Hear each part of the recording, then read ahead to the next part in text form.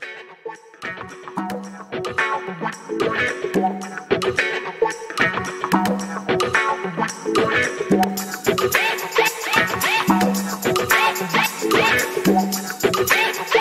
Social media पर जैन समाज के सबसे लोकप्रिय जैन न्यूज़ चैनल।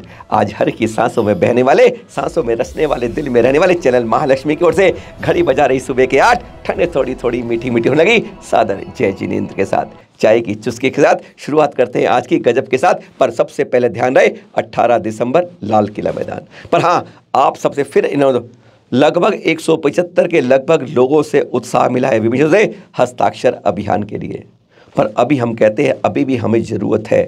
हमारी आवाज़ शायद आप तक नहीं पहुँच रही है। आपको जिन जिन मंदिरों में सूचना आ गई है। हम हर मंदिर से कहते हैं अपने अपने मंदिर में हस्ताक्षर अभियान करिए कि शिखर जी के प्रति, शिखर जी समर्पित है। हम शिखर जी को पावन क्षेत्र घोषित करना चाहते हैं। अब नाम पता लिखकर पूरी डिटेल आपको मिल जाएँगी। केवल इस नंबर में व्हाट्सअप कर दीजिए। Nine nine one zero six nine zero eight two three. रविवार को लाल किले मैदान में पचास हज़ार हस्ताक्षर साथ हमें संकल्प पत्र तैयार करना है, जो हमें मुख्यमंत्री झारखंड और केंद्र में देना है। अगर जरा आपका सहयोग मिलेगा तो ये कारवां सफल हो पाएगा। अब तक पंद्रह से सोलह हज़ार हस्ताक्षर हुए पंद्रह बीस हज़ार आने की उम्मीद है, तब भी हम कहेंगे पंद्रह हज़ार की कमी अब भी दिख रही है। आपका सहयोग इसमें ज़रूर चाहिए। अब करते हैं शुरू में खास बात, जिसका है इंतज़ार हम सबको आपके साथ। अनियत विहारी, अनियत रूप में, अनियत समय में किधर बढ़ जाते हैं तो एक ही नाम सामने आता है, आचार्य श्री का, गुरुवर का। कोई सोच सकता है कि शिरपुर से चले चले चले, घूमे घूमे घूमे 360 डिग्री करके वापस वहीं आ जाएँगे, जहाँ आज बात। साथ में दो संघ नियापक शर्मा योग सागर जी का नियापक शर्मा वीर सागर जी का, सत्संग उनके स्वागत के लिए भवानी मंदिर पर इंतज़ार। आज दोपहर की बात, वापस आ गए श्री। मतलब कई लोग कह रहे थे आचार्य जी ने क्या खुलासा किया? क्या किया आचार्य पर बहुत लोग, उंगली उठाने में कोई कम नहीं रहता है। छोटे बड़े की कोई बात नहीं, बस करा क्या। आचार्य श्री ने बताया, तुम करते रहो, मैं फिर आऊँगा। और अब इंतज़ार करते हैं कौन सी बड़ी बड़ी घोषणाएँ अब फिर होंगी। कैद में बंद हमारे अंतरिक्ष पार्श्वनाथ खुलने को जैसे बेकरार है, क्या उसको हरी झंडी मिलेगी? क्या श्वेतांबर, दिगंबर समाज एक होकर उस पर अपनी बात को गंतव्य करके उसके ताले खुलवाने को आगे हो पाएगा? आचार्य ऋषि का आशीर्वाद कुछ इस तरह मिल पाएगा? दिगंबर समाज की कोई जगह नहीं थी। क्या वहाँ पर एक बड़ी जगह की तैयारी पर कुछ नया होने वाला है? बहुत कई घोषणाएँ, कहीं कुछ होने वाला है, तभी तो आचार्य श्री का अनियत विहार इस ओर हो गया है।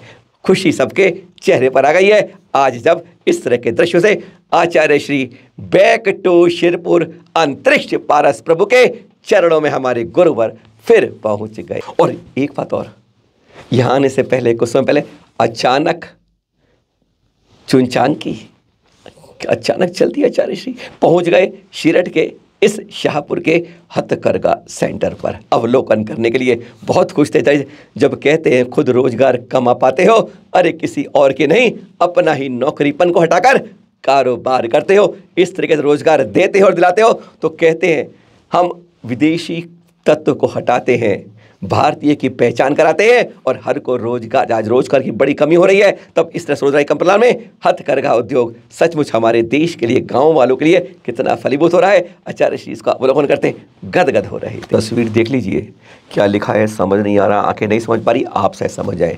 डीएलएफ कॉलोनी साहिबाद के सेंट्रल पार्क के दिगंबर जैन मंदिर में अध्यक्ष महोदय से यह मिला है कि आज हमारी दीवार पर कुछ यह इस तरह लिख दिया गया है। धमकी लिखी गई है, कुछ और लिखा गया है, कुछ समझ नहीं आ रहा है। अगर धमकी के बारे में लिखा गया है, सावधान हो जाओ जनाब, ऐसी बात नहीं चलेगी। इस मंदिर में शांति है, अहिंसा है, पर भाईचारे के साथ इस तरह का सौहार्दपन को बिगाड़ने की कोशिश मत करना। जैन समाज तुरंत एक्शन लेगा और आप में से कोई इस बात को समझते हैं कि क्या लिखा है तो ज़रूर सामने आइएगा। इस तरह की बातें जैन मंदिर में, जैन समाज के सामने लिखना शोभनीय नहीं है और जैन समाज इसका भरपूर रूप से फर्श ना करता है। जाने से पहले फिर विनम्र निवेदन। अट्ठारह दिसंबर, आप लोग आएँगे। कल आपको मालूम चल गया था कि क्या क्या हो रहा है। पहली बार इतनी बड़ी कॉन्फ्रेंस हुई थी, उसकी पूरी डिटेल आपने कल शाम को सुन ली थी। और अब बता दें 18 तारीख को सुबह आठ बजे से शुरू हो जाएगा महावीर स्वामी की महाअर्चना 2550 बार मोक्ष लड़ गए और जगह जगह से बसें आ रही हैं जिनकी व्यवस्था की जा रही है। अगर आपकी बसें आ रही हैं, कम से कम समाज के नेता होते हुए, अध्यक्ष होते हुए, आपका इतना तो कर्तव्य बनता है कि एक बस अपने मंदिर से लगा लें। और हाँ जो आप कहते हैं कि हम असक्षम हैं, हम मजबूर हैं, हमारी जेब साथ नहीं दे रही है तो उनके लिए व्यवस्था भी की गई है समाज के द्वारा, अन्य समाज के सहयोगियों ने, कि हर किसी को लाना है, जो नहीं आ पाता है उसको बैठा कर लाना है। हर किसी को लाल किला मैदान पहुंचाना है। बड़ी बड़ी घोषणाएँ करवानी है सम्मेद शिखर जी के बारे में, जो आज हर के जन जन के रक्त में, अजर में बह रही है भावना, उसको सरोकार करना है। छोटी छोटी चोटें लग गई हैं। अब एक लुहार की लगनी है। बात चलेगा। लाल किला मैदान 18 दिसंबर। हम सब के साथ शिखर जी पर समर्पित एक दिन। और कहें आप, पूरी रात। सादा जय एक बजे आपको खाने के बाद जा सकते हैं घर। पर हाँ आना ज़रूर है। लाल किले मंदिर के सामने, लाल किला मैदान।